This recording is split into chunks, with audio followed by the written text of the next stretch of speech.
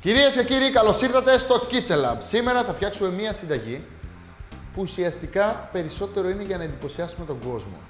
Είναι μια συνταγή που σερβίρεται σαν πρώτο, σαν ορεκτικό και ονομάζεται βολοβάν. Τα βολοβάν είναι πολύ μικρά θικάκια από σφολιάτα που γεμίζουμε με κάθε λογής γέμιση σύμφωνα με τα γούστα μας και πραγματικά όποιος καλεσμένος τα βλέπει πάντα μα πάντα ενθουσιάζεται και τρίβει τα μάτια του.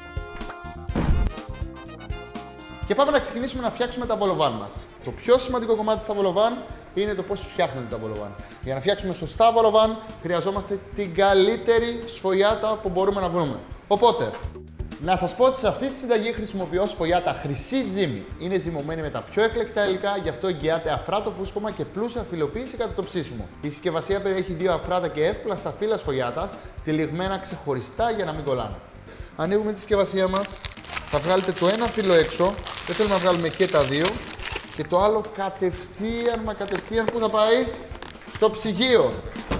Πάμε πίσω στο ψυγείο, γιατί πρέπει να είμαστε γρήγοροι. Η σφογιάτα είναι ένα συγκλονιστικό υλικό στην κουζίνα μας, απλά δεν της αρέσει πολύ η θερμοκρασία δωματίου. Της αρέσει η θερμοκρασία ψυγείου και 190 βαθμοί μέσα στο φούρνο.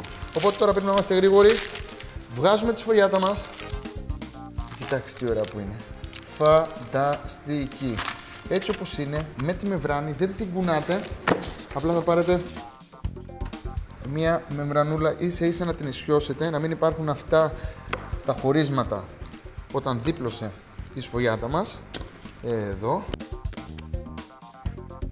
Και θα πάρετε δύο κουπάτ, το ένα μικρότερο από το άλλο και με το μεγάλο κουπάτ θα χωρίσετε όλο το φύλλο σφογιάτας. Εδώ. Όσα περισσότερα κάνουμε, τόσο καλύτερα. Και βλέπετε ότι με μία σφογιάτα μπορούμε να βγάλουμε πάρα πολλά βολοβάν. Τέλεια. Πόσα έχουμε, 4, 8, 12, 16, 20. Τέλεια. Παίρνουμε το μικρότερο και κάνουμε μία τρύπα στα μισά ακριβώς. Στα 10.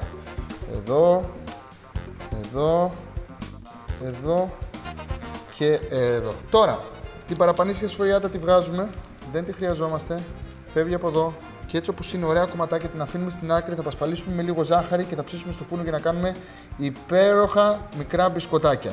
Απλά όλο το γύρω γύρω το βγάζουμε πολύ πολύ απλά. Οπότε αυτά τα αφήνω εδώ στη συνέχεια για να κάνω τα υπέροχα μπισκοτάκια μου. Εδώ. Τώρα πάμε εδώ. Εδώ. Τα 10 όπως είναι. Τα μισά από εδώ. Πάρω ένα μαχαιράκι για να με βοηθήσει λίγο στην όλη διαδικασία και θα πάρω να τα βγάλω και να τα βάλω πάνω σε ένα ταψάκι. Ένα.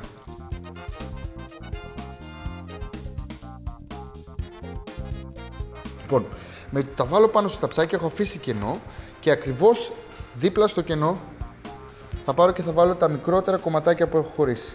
Εδώ. Ένα, δύο. Όπως βλέπετε πρέπει να είμαστε λίγο γρήγοροι, οπότε πρέπει να έχουμε από πριν ετοιμάσει την όλη διαδικασία για να μπορέσει να γίνει σωστά. Και τώρα έχω αραιώσει λίγο κρόκο με νεράκι και θα πάρω να απλώσω σε όλη τη σφογιάτα που έχω βάλει πάνω στο ταψί. Εδώ. Και στα μικρά κομμάτια και στα μεγάλα. Στους μικρούς δίσκους και τους μεγάλους δίσκους. Τέλεια. Χρειαζόμαστε τον κρόκο στη σφογιάτα από πάνω πάντα γιατί; Για να γίνει τραγανή από πάνω σφογιάτα και να πάρει υπέροχο χρώμα. Σε περίπτωση που δεν ξέρετε τι είναι σφογιάτα, είναι στρώσεις από ζύμη και βούτυρο πάρα πολλές και καθώς ψήνεται η σφογιάτα μας, ανοίγει και κάνει χιλιάδες χιλιάδες ε, στρώματα. Τώρα, αυτά που έχουν μείνει, όπως είναι πολύ προσεκτικά, τα βγάζουμε τα δισκάκια και τα βάζουμε ακριβώς πάνω στα μεγάλα δισκάκια μας. Γενικά είναι έτσι πιο εορταστικό και πιο επίσημο το βολοβάν. Θέλουμε να το κάνουμε σε special περιπτώσεις αλλά δεν σημαίνει ότι δεν μπορούμε να το κάνουμε καθημερινά. Τώρα, παίρνουμε ένα πυρουνάκι και κάνουμε τρύπες μέσα μόνο στο κέντρο από τα βολοβάν μας. Γιατί σε αυτό το σημείο δεν θέλουμε να φουσκώσουν, αλλά προς Θεού δεν βγαίνουμε στο εξωτερικό τείχο. Το εξωτερικό τείχο θέλουμε να μένει ατόφιο για να γίνει σωστά η διαδικασία. Και εδώ. Λίγο ακόμα κρόκο, μόνο γύρω γύρω, εδώ. Και απαραίτητο κομμάτι της συνταγής είναι ο φούρνος σας να έχει προθερμανθεί πριν το ρίξετε μέσα, πριν ρίξετε μέσα τα βολοβάν.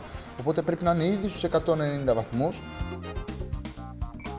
και ψήνω για 20 με 25 λεπτά και μέχρι να χρυσίσουν και να φουσκώσουν και να γίνουν σεξι. Μόλις χρυσίσουν, γίνουν super sexy. Θα βγάλω έξω, θα τα αφήσω να κρυώσουν και θα ετοιμάσω τρεις διαφορετικές γεμίσεις για να τα γεμίσω. Και τα βολοβάν μου είναι έτοιμα. Λοιπόν, θα σας δείξω πώς περίπου αρχίζουμε να στείλουμε ένα, μια πιατέλα ωραία από βολοβάν. Όπως είναι το βολοβάν, παίρνουμε με το δάχτυλο και κάνουμε λίγο περισσότερο τρύπα στο κέντρο. Κοιτάξτε εδώ πόσο ωραία που έχουν γίνει. Έχουν φουσκώσει και έχουν γίνει τέλεια για να γεμίσουμε με ό,τι γέμιση θέλουμε. Λίγο εδώ πέρα με το δάχτυλό μας. Δύο.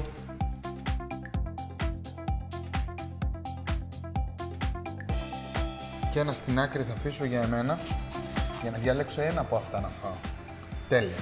Μαζί με αυτά θα βγάλω και 2, 4, 6, 8, 9, 10 από τα μικρά τα κομματάκια. Τώρα τα υπόλοιπα φυσικά δεν τα πετάω.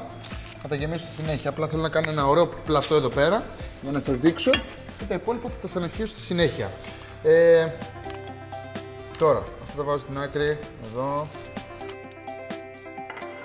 Και ήδη έχουμε κάνει κάτι πάρα μα πάρα πολύ ωραίο. Έχουμε αρχίσει να στείλουμε μια πολύ ωραία πιατέλα. Κοιτάξτε την. Φανταστική. Πρώτη γέμιση για σήμερα. Γέμιση γιαούρτι, μανιτάρι και κρεμμυδάκι. Πολύ εύκολη. Και έχω σουτάρει λίγα μανιτάρια εδώ πέρα. Θα τα ψιλοκόψω. Και θέλουμε περίπου 100 γραμμάρια μανιταράκια. Λοιπόν, έχω λίγο κρεμμυδάκι και δεν θα το παρακάνω. Κοιτάξτε πόσο λίγο θα κόψω. Ίσα ίσα κρεμμυδάκι για να υπάρχει. Πολύ πολύ καλά ψιλοκομμένο. Εδώ. Τέλεια. Πάει και το κρεμμυδάκι μας. Τώρα, σε ένα μπολάκι θα προσθέσω μέσα τα μανιτάρια μαζί με το κρεμμύδι. Εδώ. Αλάτι πιπέρι. Και αλατάκι. Και το κίμινο. Θέλω να βάλετε μισό κουταλάκι του γλυκού κίμινο, το χρειαζόμαστε γιατί το γιαούρτι με το κείμενο ξέρετε πολύ καλά ότι είναι ένας από τους αγαπημένους μου συνδυασμούς. Πιστέψτε με, θα κάνουν μια γέμιση μοναδική, ιδιαίτερη, φανταστική και μια γέμιση που δεν έχει δοκιμάσει ποτέ κανείς.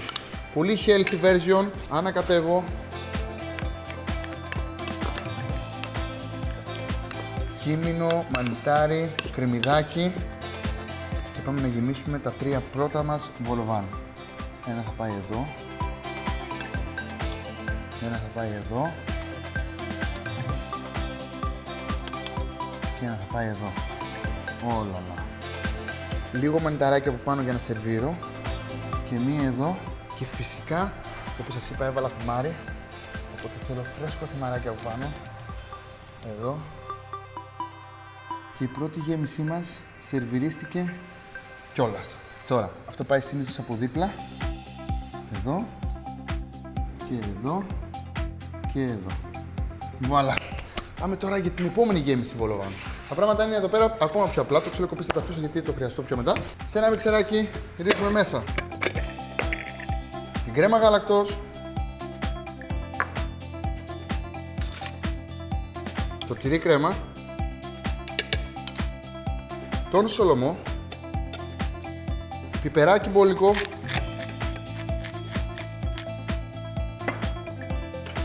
μία κουταλιά του γλυκού μουστάρδα διζών, λίγο άνηθο, πάει και αυτό μέσα και σίγουρα ξύσμα από ένα λεμόνι ή λάι. Και αυτό θα γίνει υπέροχο. Κλείσε, πάμε εδώ, βάζουμε το μίξερ, zoom zoom. Τέλεια. Δεν θα σταματήσετε να χτυπάτε μέχρι που να σφίξει. Κοιτάξτε τι ωραία κρέμα που έχει γίνει. Το πάει πίσω. Πιο εύκολη συνταγή ever. Πάντα δουλεύει. Πάντα εντυπωσιάζεται όλοι από τη γεύση. Ο Σολομός έχει γίνει λιώμα. Κοιτάξτε εδώ. Έχει γίνει μια υπέροχη μους. Θα πάει σε ένα βολοβάν. Δύο βολοβάν. Κρατάμε πάντα λίγο σολομός στην άκρη. Εδώ για να σερβίρουμε από πάνω από την υπέροχη μους και κοιτάξτε τι θα κάνετε θα πάρετε το λεμονάκι σας και θα κόψετε τρεις πολύ πολύ πολύ μικρές φετούλες. Εδώ. Βάλτε από πάνω. Εδώ. Εδώ. Και εδώ. Σε αυτά εδώ δεν θα βάλω καθόλου τα μικρά βολοβάνα από πάνω. Θα τα αφήσω έτσι όπως είναι. Αλλά το μόνο που θα ρίξω είναι λίγο άνηθο. Πώς σας φαίνονται τα πράγματα ως τώρα; Πανεύκολα. Και πάμε να φτιάξουμε τώρα την τρίτη γέμισή μας. Ξέρω ότι έχω κάνει έναν ε, μικρό χαμούλι, αλλά θα φτιαχτούν όλα, μη φοβάστε καθόλου. Λοιπόν, η κάθε γέμιση που σας δίνω είναι για να γεμίσει 10 βολοβάν. Εντάξει, οπότε σύνολο οι τρεις γεμίσεις που σας δίνω γεμίζουν 30 βόλοβαν. Απλά τώρα γεμίζουν μόνο 3 για να σας δείξω τις τρεις διαφορετικές γεμίσεις. Λοιπόν, τώρα αυτό που θα κάνετε είναι να πάρετε τρία βουλάκια βρασμένα. Θα το κόψετε εδώ και μόλις τα κόψετε εδώ, τι θα κάνετε, θα τα γυρίσετε κάθετα από την άλλη πλευρά και θα κόψετε και εδώ. Οπότε τι κάναμε, τα διαλύσαμε. Ταντάν! Κόλπο του κυρίου Άκη. Και μια τελευταία φορά, το επόμενο αυγό, ένα, δύο, τρία. Αυγουλάκια μέσα στο μπολ. Τώρα, ο κύριος μαγιονέζας ήρθε η ώρα να παίξει σημαντικό ρόλο στην συνταγή μας. Ρίχνουμε μέσα την μαγιονέζα. Ρίχνουμε μέσα το κάρι. Ρίχνουμε μέσα τη μουστάρδα.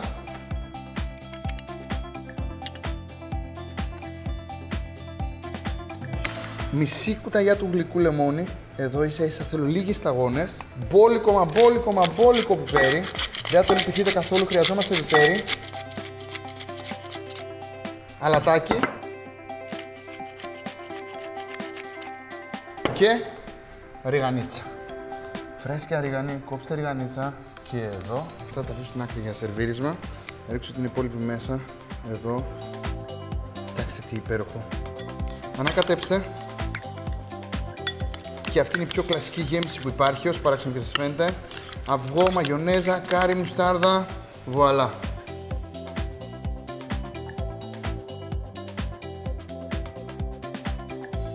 Και για το τέλος, ελάχιστο φρέσκο κρεμμυδάκι από πάνω. Βέβαια πιο πολύ θα πήγαινα chives, αλλά chives ξέρω ότι είναι πολύ δύσκολο να βρείτε. Δεν πειράζει. Θα βάλουμε λίγο ρεγανίτσα. Εδώ λίγα φιλαράκια. Βουαλά. Τώρα, για να τελειώσουμε την όλη φάση, θέλω να γίνετε έτσι λίγο πιο χαρούμενοι. Για να φαίνεται πιο ωραίο το όλο πλατό, θέλω να πάρετε και να ρίξετε μυρωδικά μέσα. Να βγάζουν φρεσκάδα, να χαίρεται κάποιος όταν το βλέπει. Λίγο βασιλικό. Κοιτάξτε εδώ τι ωραίο που γίνεται. Αυτό το αφήνω εδώ. Όποιος θέλει να βάλει πάνω για να σκεπάσει το γορβάν του και αυτό που άφησα στην άκρη θα το παραδώσω. Σολομός λοιπόν με γέμιση σούπερ. Περίμενε λάξη φίλε μου. Κολλητέ μου, αδερφέ μου, που είναι ο Σολομός μου; Και ο Σολομός μου. Ε, εδώ. Πάει αυτό στην άκρη. Θα σου βάλω και λίγο λεμονάκι. Έτσι για το ονόρε για να το παίζεις μάγκας. Εδώ. Και λίγο ε, άνηθο. Θα να το πάρεις. Έλα. Ορίστε. Και κάπως έτσι τελείωσε το σημερινό μας επεισόδιο. Τρεις γεμίσεις σε υπέροχα βολοβάν. Μην ξεχάσετε να κάνετε subscribe, comment και φυσικά να μοιραστείτε το βίντεο με τους φίλους σας. Γεια σας.